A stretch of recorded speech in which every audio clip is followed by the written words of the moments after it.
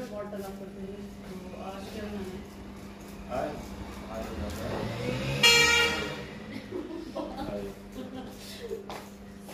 दोस्तों welcome back to my channel कैसे हो आप सभी लोग? आज मेरे बेटे की फरमाइश है कि तो आज आप पास्ता बना के खिलाओ। तो मैं आपको लेके चलती हूँ किचन में और आज मैं बनाने वाली हूँ पास्ता। आइए। कोई नहीं, लेकिन संडे की छुट्टी है ना, और मंडे को भी हाफ़ डे कर दिया गया है। आपको पता है गवर्नमेंट ऑफ़िस में सभी में गवर्नमेंट ऑफ़िस में हाफ़ डे कर दिया गया है। प्राइवेट में तो मुझे पता नहीं लेकिन ये है कि जितनी गवर्नमेंट सर्विस है पीएसयू वगैरह हैं इनको सबको हाफ़ डे कर दिया ढाई बजे से ऑफ़िस रहेगा। तो यहाँ पे मैंने ना थोड़ी तैयारी करके रखी हुई है। मैंने यहाँ पे पास्ता को बॉईल करके रख लिया है। और जो मैंने पास्ता लिया है ना तीन शेप में लिया है। एक तो ये वाली शेप में और एक ये वाली शेप में और एक ये छोटे वाले। छोटे वाले होते हैं ना ये वाले। तो इनको मैंने बॉईल करके रखा हुआ है। और यहाँ पे कुछ मैंने सब्ज़ियाँ कट करके रखी हुई हैं, जैसे कि शिमला मिर्च है, गाजर है, प्याज है, और अपनी पसंद से कोई भी सब्ज़ी डाल सकते हैं। मैंने यही वाली लिए क्योंकि बच्चों को यही वाली पसंद है। उसके साथ में यहाँ पे मैंने चीज़ लिए और ये है यहाँ पे व्हाइट सॉस और ये है यहाँ पे टमाटो केचप साथ में है थोड़ा सा बटर तो अब मैं बनाती हूँ फटाफट से। पहले क्या करूँगी, पहले तो मैं सब्जियों को अच्छे से इनको मतलब पका लेती हूँ, सब्जियों को। जिससे जो सब्ज़ी है ना कच्ची नहीं रहे इसलिए। और ये बनाने के लिए आज मैं यूज़ कर रही हूँ लोहे की कढ़ाई। इसमें मैंने थोड़ा सा डाला है। तो तेल थोड़ा सा गर्म। मैं ना पास्ते को मतलब इस तरीके से नहीं बनाती कि इसमें कुछ नहीं डालना है। मैं पास्ते को इस तरीके से बनाती हूँ थोड़ा सा हेल्दी बने, जैसे कि अदरक भी डाल देती हूँ, इसमें लहसुन भी डाल देती हूँ और जीरा वगैरह सब कुछ डाल देती हूँ। हो सकता है आप लोग मुझे ये बोलो कि पास्ता में लहसुन वगैरह कौन डालता है, कौन नहीं डालता है, लेकिन मैं डालती हूँ आप कब जाओगे अयोध्या? नहीं, जब भगवान श्री राम बुलाएँगे। जय श्री राम है, ठीक है ना? और अभी तो काफ़ी वीआईपी लोग जा रहे हैं तो हमारे माननीय प्रधानमंत्री जी ने भी आह्वान किया है कि कोई लोग ना जाएँ, क्योंकि वहाँ काफ़ी व्यवस्था भंग हो जाएगी इस कारण। देखिए, वैसे तो मैदे को आप किसी भी रूप में खाइए मेरा नुकसान नहीं करता है, लेकिन ऐसा है कभी कभार तो मन करता है ये बड़ों का भी करता है, बच्चों का भी करता है। इसे मैं अपनी तरफ़ से थोड़ा सा हेल्दी बना देती हूँ। इसमें लहसुन भी मैंने डाला है, अदरक भी मैंने डाला है, हींग भी डाला है, जीरा भी डाला है, और जितने सारे मसाले होते हैं ना, सारे मसाले मैं इसमें थोड़ी सी कम डाल के ऐड कर देती हूँ थोड़ा सा हेल्दी बने और अच्छा बने।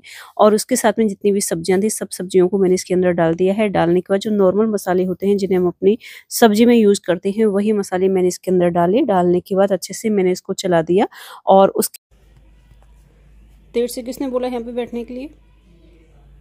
जॉर्ज किसने बोला यहाँ पे आने के लिए?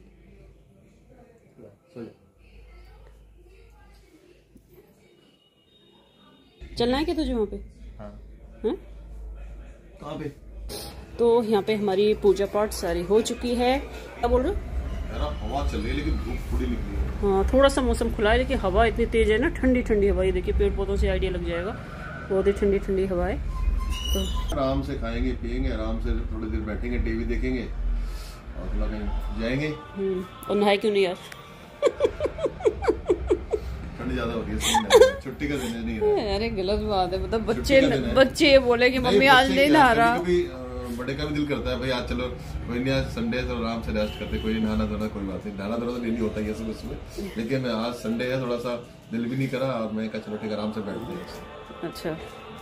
तो सब्जियों को गैस पे पकने के लिए रखने के बाद मैं आई थी थोड़ा सा बालकनी में, ये देखने के लिए कि आज का मौसम खुलेगा कि नहीं खुलेगा। और मौसम देख के मुझे नहीं लग रहा कि मौसम खुलेगा, काफ़ी दिन हो गए बहुत ज़्यादा बादल रहते हैं, काफ़ी ज़्यादा कोहरा रहता है और कपड़ों में तो मतलब ये समझ लीजिए कि थोड़ी सी स्मेल सी होने लगी है, क्योंकि जब तक कपड़ों को धूप नहीं लग पाती, तब तक कपड़े अच्छे से मतलब सूखते नहीं है और कितना भी आप उन्हें छाँव में सुखा लो, हवा में सुखा लो, लेकिन धूप में सुखाने वाली जो बात होती है ना, वो छाँव में नहीं होती और इस बार ऐसा हुआ है कि ठंड बहुत ज़्यादा है। आज ही न्यूज़पेपर में भी आया था कि पूरा तेरह साल का रिकॉर्ड टूटा है दिल्ली के अंदर इतनी तेज ठंड है और सच में ठंड बहुत ज़्यादा है। तो यहाँ पे जो बालकनी में मेरे पेड़ पौधे लगे हुए थे, मैंने देखा कि काफ़ी पौधे तो मेरे ड्राई हो गए थे। कुछ तो ठंड की वजह से हो गए कुछ ऐसा है कि हम लोग ठंड में ना इनकी केयर भी नहीं कर पा रहे ठीक से। और इस वजह से तो मुझे लग रहा है जैसे ही मौसम थोड़ा सा चेंज होगा, यानी कि मार्च के महीने में, मैं जो ड्राई हमारे पौधे हो गए, उन सबको निकाल के नए पौधे मुझे लगवाने पड़ेंगे। तो अभी मैं चलती हूँ किचन में, क्योंकि सब्जियों को मैं रख के आई हूँ गैस पे, पता चले मैं बालकनी में ही लगी रहूँ और सब्ज़ियाँ उधर मेरी जल जाएँ। क्योंकि भाई सबको मुझे खिलाना है गर्मा गर्म पास्ता बना के। तो यहाँ पे मैं देखती हूँ अपनी सब्जियों को फटाफट से। तो यहाँ पे एक बार मुझे लग रहा है कि सब्ज़ियाँ ना थोड़ी सी गल गई हैं तो यहाँ पे एक बार मैं और चला देती हूँ अच्छे से। और ये जो आयरन कढ़ाई है ना, मैं इसको इसलिए लेती हूँ, एक तो होता है कि बॉडी के अंदर हमारे आयरन की कमी नहीं होती, दूसरा ये होता है कि इसका जो साइज़ है ना थोड़ा-सा बड़ा है तो इसमें आराम से जो सब्ज़ियाँ हैं ना बन जाती हैं जब मुझे ज़्यादा कुछ ऐसा बनाना होता है तो इसलिए। तो यहाँ पे मैं देखती हूँ कि मटर गली कि नहीं गली क्योंकि कई बार ऐसा होता है ना कि मटर में थोड़ा-सा टाइम लग जाता है।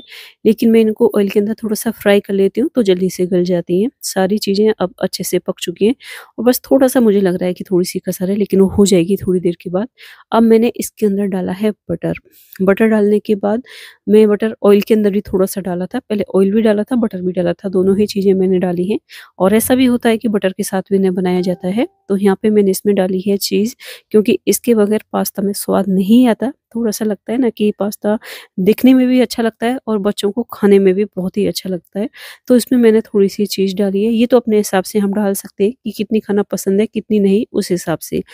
और चीज़ डालने के बाद अब जितने भी मसाले होते हैं तो यहाँ पे मैंने लिया है ये मैंने लिया है मेयोनी तो मैंने दो से तीन चम्मच भर के इसमें म्योनी डाली थी। इससे क्या होता है ना इसका स्वाद दुगना हो जाता है और वैसे मैं कभी-कभार बनाती हूँ मैदे की जो सॉस बनाई जाती है ना उसके साथ भी मैं पास्ता बना लेती हूँ।